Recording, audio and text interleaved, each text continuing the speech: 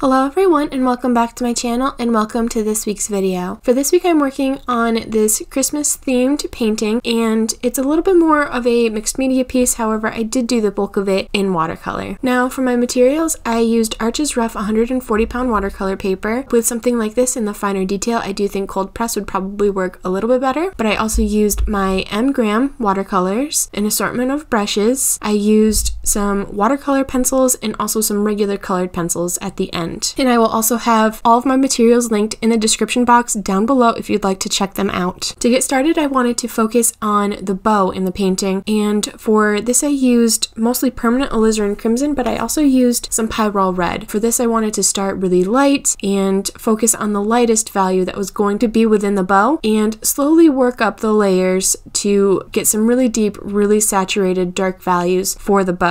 This is something that I didn't want to do wet on wet, so I did slowly build up the layers over time and I kept working with the same mix for the most part, building up the general values of the bow and then really started getting into some darker colors, leaning the mix a little bit more towards just permanent alizarin crimson and finally adding some maroon perylene. As I got into the shadows of it and I wanted to really deepen those values, since this was such a high contrast painting, I did end up adding some dioxazine violet. I played with some color mixing and adding some greens to it. For me and what I like in the paint that I have, sap green works really well, but I would make sure to just kind of test it because you can end up with a really, really weird brown color. For this, we were just trying to go for a really, really deep, rich red, so I really wanted to be careful with my mixtures. And then for some of the areas that were really high contrast, I did use a little bit of sepia. And once I was happy with the bow, or at least mostly happy with it, I knew I was going to touch it up a little bit more later. I started working on the bells in this illustration. Now, as you can see, I did do the base drawing with my Prismacolor Col-Erase pencil and I used it in light gray. I went through and added a lot of the details in the bells since these were very reflective and had a lot of detail in them. And I knew that I couldn't just go through and handle all of this freehand. I mean, I could, but I wanted to map it out. I wanted to get all of these little details correct before jumping in with paint and something that I couldn't easily erase. So I did the base of the bells with Hansa Yellow and then once that was dry, I started going through and working on individual segments of the bells. Now this had a lot of different colors in it and a lot of different detail and lots of different variations of those colors within the segments. So there was a lot of color mixing and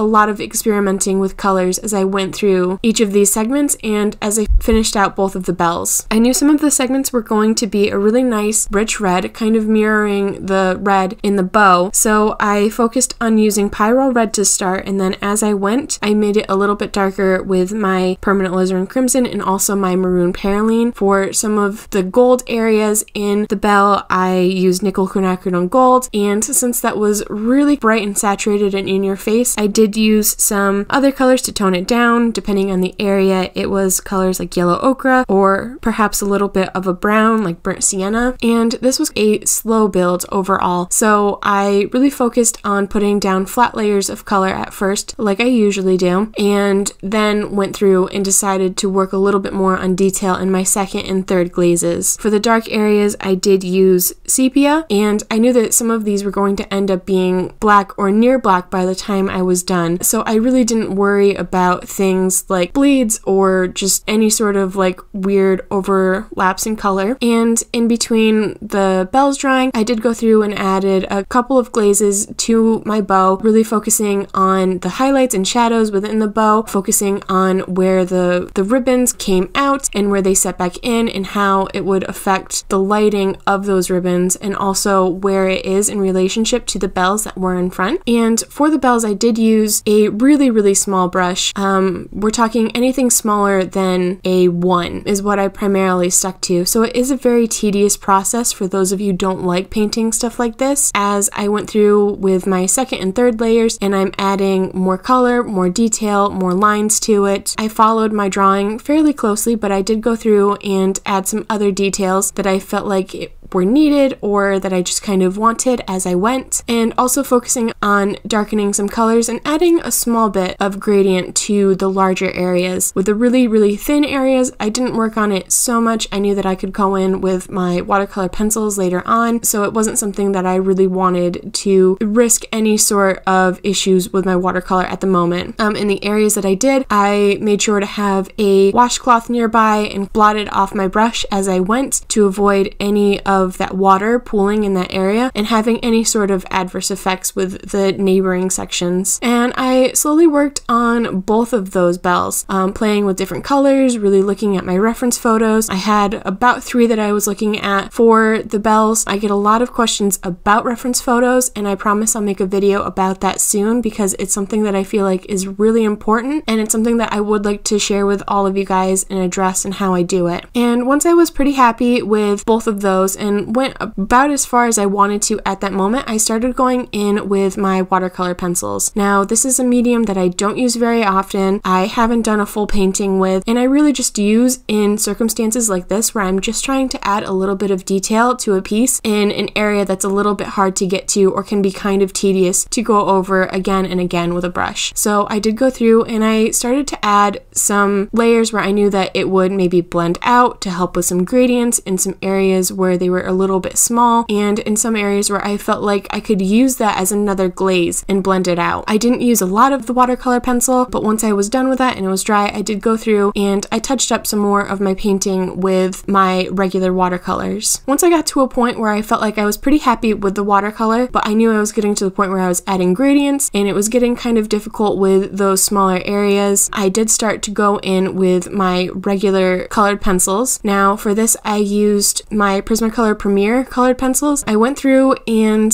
I really started to focus on a lot of the gradients at this point. One of the tricks that I do have when it comes to any sort of gold reflective surf surfaces is to add a little bit of green to it. I find that it helps give a more realistic look to it and in this kind of situation I really didn't have to add a lot since there was so much other stuff going on but focusing on those areas that are nearly black, the different kinds of reds and golds and I had a lot of fun playing with like the gold and brown tones within this painting. I'm not usually someone who keeps my colored pencils really really sharp all the time uh, just because for me personally I, I feel like I'm wasting them but in this case since I was working on rough watercolor paper and since you were going to have so much of that texture showing through I did try to keep them really sharp for most of this drawing and worked with them that way to try to minimize the amount of texture that would show through. I did go through and blend out some of that. I personally use mineral spirits for that but as you can see it really didn't do the best job on blending that out. There was a lot of texture that stayed behind especially in a watercolor piece that's not exactly what I was going for and I wasn't thrilled with the outcome of it but I I think that just kind of goes into the, the trade-off that I made with using the colored pencils in this piece. For the little decorations that were in the front of it, those were a bit of a rose gold. So when I was painting it with watercolor, I focused on my uh, Hansa yellow and my yellow ochre with a little bit of permanent alizarin crimson.